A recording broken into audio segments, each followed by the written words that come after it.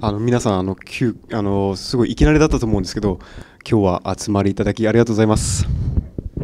あの前回からちょっと時間が経ちましてで前回も結構なんだろういきなりっていう形だったので、まあ、今回あれから3年ぐらいが経ってるのかな。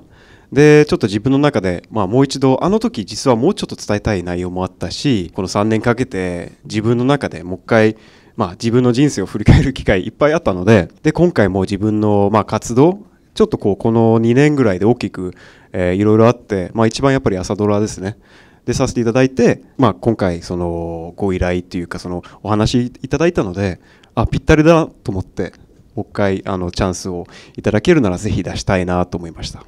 えーとまあ、僕の中ではこの3年間で、えーと、主に、まあ、どその僕本業庭師なのでその本業の中で独立っていうのも大きな一歩もありましたし、えーまあ、メディアでこな仕事をこなしていく中でそういった庭師での大きなものもいっぱいあったので、えーまあ、自分が目指している理想のその、まあ、仕事の仕方とか、えーとまあ、自分でこれでなんだろうもう完全に一人で立ってあの、まあ、自分のこだわりを持ったこう庭を作るっていうのはどういうものなのかとかいろいろあのそういった面でも大きく変わっていったなと思います。はい、この本はですね自分って結構もう変わった生き方っていうかあのもう結構もう最初からもうずっと今もそうですけど好きと向き合ってそれをこうそういう生き方をしてきたので逆にあの今こんなことやりたいとかやってみたいけどちょっと挑戦するにはちょっと踏み出せないなっていう方にとって少しでも参考になればいいなちょっとこう勇気をその一歩踏み出す勇気になれなれたらいいなと思って書かせていただきました。えっ、ー、とですね、えー、まあ、結構その、まあ、今回自分が、まあまあ、今まで結構何回か演じ演じるっていうかその、まあ、役っていうのは何回かチャンスはあったんですけど今回の朝ドラの出演で一番今まで大きな挑戦というかここまで大きなものはなかったのでその、まあ、準備だったりとかちょっとこう自分のこう気持ちの持ち方だったりとかそういった意味ではこうなんか自分の中では大きな挑戦だったのでまあ本当にそれに向けてっていう感じですね。はい。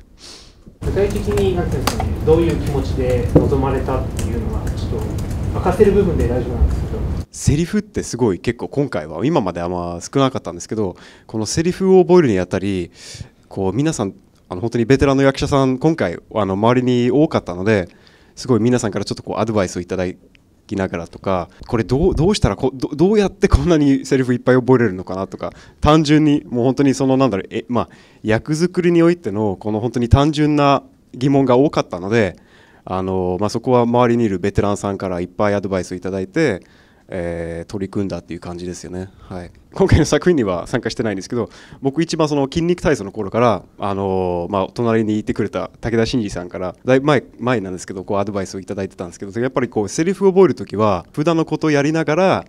その自分でこう覚えながらあの例えばもう声に出してやるとかあと自分の声を録音して覚えるとか、まあ、本人も多分覚えてらっしゃらないと思うんですけど数年前にそういったアドバイスをいただきましたねあとは本当にものあの現場に入ってから周りにいる本当にベテランの役者さんからその見て盗むじゃないんですけどこう役作りとか演技に取り掛かってるところを見て真似るんじゃないですけどちょっとそういった面でも、あのー、やってましたね。はいえっと、これまで見てきて一番印象に残ってる朝ドラと ごめんなさい。そこまでちょっと言えないです。ちょっとあの具体的に何のそうあのそう大河ドラマの方が詳しいかもしれないです。ね すいません、えー、天地人が好きですね。はい。やっぱり天地人って自分のその好きな上杉謙信あたりをこうなんかあのそのあたりの時代を、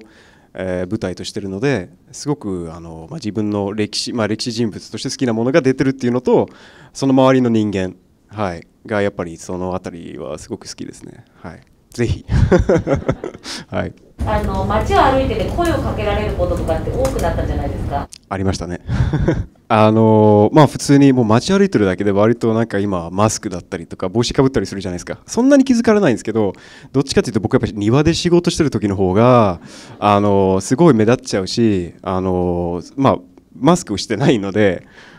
おロバートだっていうふうにあのなんかこう声かけられることが多くてそれこそもうあの朝ドラきっかけで僕を知ってくれた人が方が多いのであの逆に庭師をやってるっていうのも知らないのでちょっとギャップにみんな驚かれますね。あのもう今までと変わらずやっぱその軸に庭師の部分をあの守りながらそのそういったこう声をが声かかって例えばあのもうあの演じる機会だったりとかそういった仕事をするチャンスがあればもうぜひあのどんどんやっていきたいなと思うんですけど、まあ、常にやっぱり軸はあのこの自分の最初のところを忘れずにやっていきたいなと思います。はい